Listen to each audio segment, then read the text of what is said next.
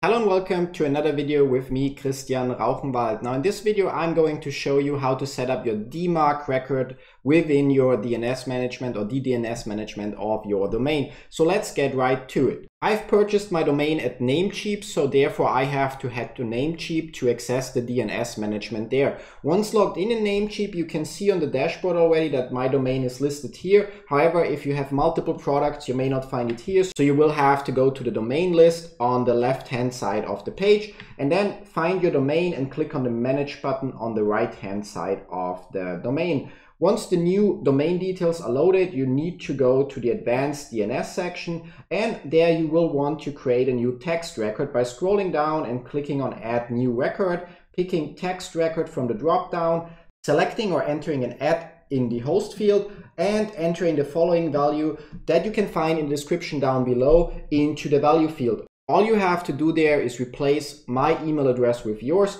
so you will receive the DMARC reports to that email. Now the parameter p equals none tells us that emails should not be rejected. As you gain more experience with how DMARC works and what kind of reports you get, you can consider using alternate values there to either quarantine or straight out reject emails that do not pass the DMARC verification.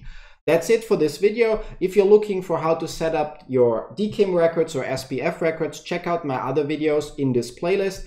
And other than that, I hope this video helped you. If it did, make sure to give it a thumbs up and to subscribe to the channel so you don't miss out any future content.